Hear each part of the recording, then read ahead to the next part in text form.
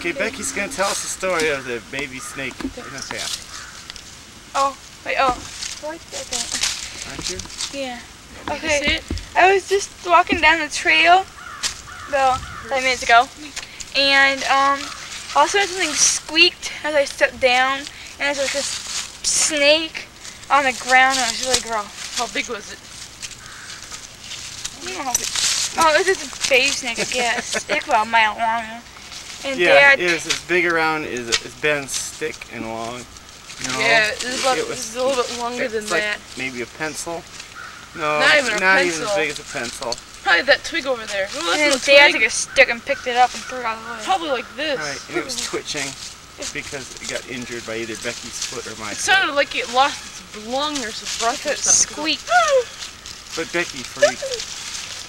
So then we She- discussed whether or not what she would do if there were a boa constrictor that ate a cat and they brought it in.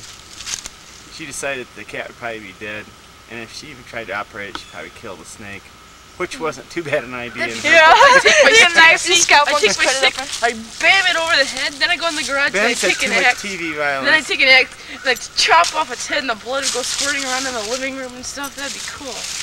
Yeah. Too much Beavis Good and grief, you know who.